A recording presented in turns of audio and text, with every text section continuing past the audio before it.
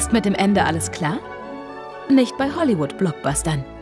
Die Credits laufen, aber man weiß, es gibt mit Sicherheit eine Fortsetzung. Bei dem zweiten Kommen Jesu, wie es die Bibel schildert, ist es übrigens ganz ähnlich. Die Bösen sind tot, die Guten bei Gott. Happy End. Warum fällt der Vorhang noch nicht?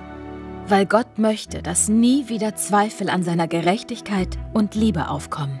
Es ist so, Gott respektiert unseren Willen, selbst wenn wir uns entscheiden, ihn zu leugnen oder zu hassen. Er hat den ersten Menschen sogar eine Wahlkabine hingestellt, in der sie die Abhängigkeit von ihm aufkündigen konnten, was sie auch taten. Allerdings ist, so sagt die Bibel, Leben ohne Gott unmöglich. Also ist die Entscheidung gegen Gott eine Entscheidung gegen das Leben.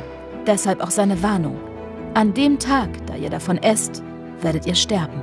Keine Strafe, eine natürliche Konsequenz. Dass es überhaupt noch Menschen gibt, liegt daran, dass Gott die Freiheit so wichtig ist. Und die ersten Menschen haben keine freie, bewusste Entscheidung gegen Gott getroffen. Sie wurden verführt und belogen. Deshalb bekommen alle die Möglichkeit, Stellung zu beziehen und durch Worte oder Taten zu sagen, nein, man hat mich ausgetrickst, ich wollte nie weg von Gott. Oder ja, richtig so, ich brauche Gott nicht.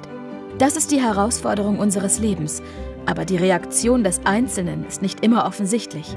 Deshalb kommt nach dem Ende noch etwas. Gott erklärt seine Gerichtsentscheidung, die offenkundig macht, wer sich wie entschieden hat. Und das nicht nur für die, die auf seiner Seite sind. Nach 1000 Jahren werden alle anderen auferstehen. Auch für sie macht Gott das Urteil nachvollziehbar. Das ist der bittere Teil. Denn Gott liebt jeden Menschen wie eine Mutter ihr Kind, aber er lässt auch jedem die Freiheit, der nicht mit und aus ihm leben will.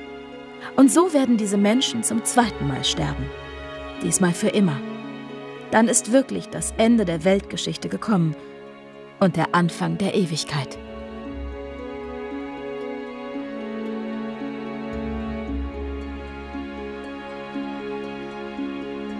Musik